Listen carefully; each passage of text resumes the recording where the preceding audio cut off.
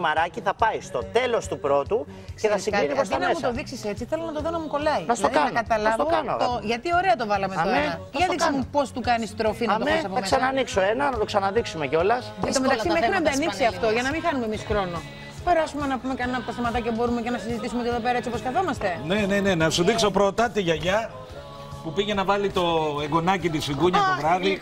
Έλειπε η οικογένεια. Το Πή- έχω δει και έχω πεθάνει στο Πεθάναμε γέλιο. όλοι. Και όταν το έβλεπα, σκεφτόμουν τη μάνα μου. Λέω πώς δεν έχει συμβεί και αυτό καμιά μέρα; γιατί, βέβαια, γιατί όμως δεν έχει συμβεί; Γιατί η κούνια που θα δείτε είναι πολύ και σε φάρδος και σε βάθος. Δηλαδή έχει μια δυσκολία να σκύψει ψηλή. μέσα να Ναι, πάρει ναι, το ναι. παιδί.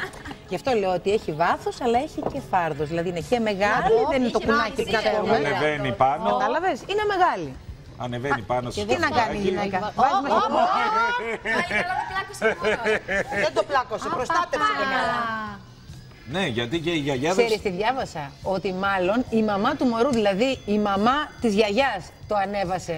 Ναι, εννο- εννοείται. Γιατί κάποιος- προφανώς και βλέπετε έχουν κάμερα μέσα στο δωμάτιο για να ξέρουν να παρακολουθούν, μάλλον θα έχουν τεντάρ τι άι, γίνεται ναι. εκεί πέρα μέσα; Κάμερα ασφαλείας. Και πέτυχε και γέλασε η γυναίκα. Φαίνεται τη μάνα της να, να, να έχει ρίξει κόλλο του πακέτο. Το μωρό μου σηκώθηκε δόξα τω Θεώ, καλά το Μια μωρό. χαρά το μωρό. Να αποθεώσουμε τις γιαγιάδες βέβαια γιατί είναι ηρωίδες στη βοήθεια των παιδιών. Ηρωίδες. Και να δούμε.